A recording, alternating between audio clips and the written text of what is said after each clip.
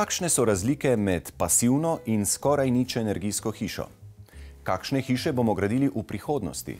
In kako graditi že sedaj, da nas prihodnost ne bo presenetila? Spremembe prihajajo in za vas smo odgovore poiskali pri strokovnjakih.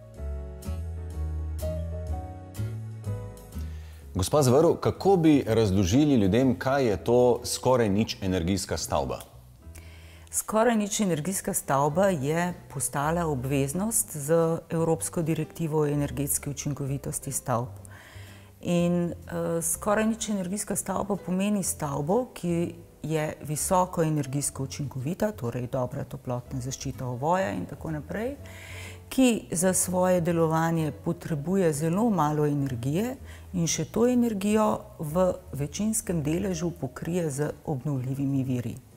Je pa tako, ne, da eh, glede na to, da je direktiva, evropska direktiva, uvedla skoraj nič energijsko hišo, iz tega sledi, da je vsaka država v Evropi morala svojo nacionalno zakonodajo prilagoditi tako, da je to obveznost predpisala. Tudi Slovenija je to naredila in sicer leta 2014 z členom v energetskem zakonu, ki zahteva, da uh, bodo po zaključku leta 2020 morale biti vse nove stavbe grajene v skoraj nič energijskem standardu.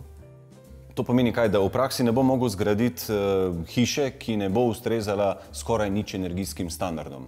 Tako je, skoraj nič energijski standardi postanejo obveznost, Eh, in vse nove stavbe bodo morale biti grajene v skladu s temi merili. To pa pomeni v praksi, ne, da je več poudarka na uporabi obnovljivih virov energije, mi pa uh, resnici na ljubo moramo priznati, da že vrsto let pripravljamo trg na to, da se gradi visoko energijsko učinkovite nove stavbe.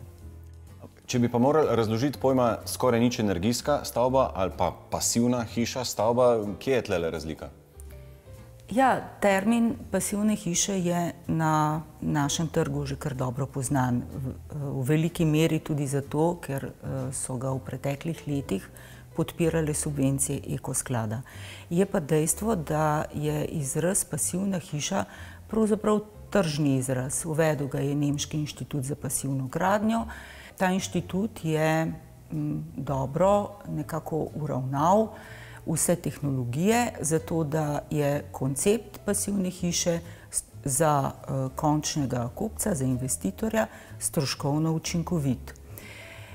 Um, za pasivno hišo je značilno tudi, da je uh, zelo dobro nadzirana kakovost uh, same tehnologije in pa kakovost izvedbe te hiše skoraj nič energijska hiša, princip pasivne hiše nadgrajuje.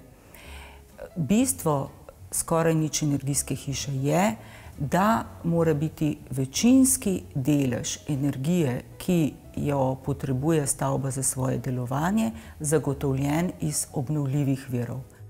Gospa Zopančič, kaj vse potrebuje človek, če gradi hišo, da bi pridobil subvencijo ekosklada?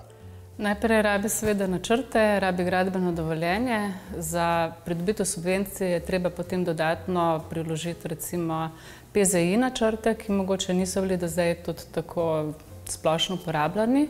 PZI načrte arhitekture pa strojnih inštalacij, kar se tiče ogrevanja pa prezračevanja.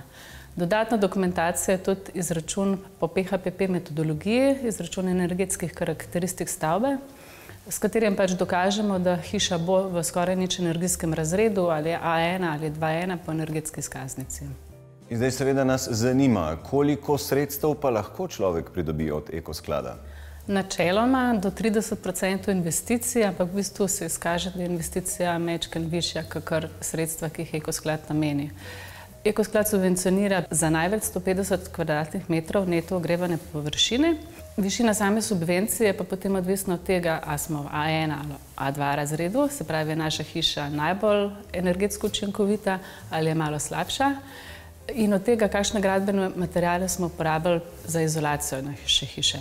Se pravi, za hišo, ki je zgrajena um, zelo energetsko učinkovito in ima uporabljene večinoma naravne materijale za izolacijo.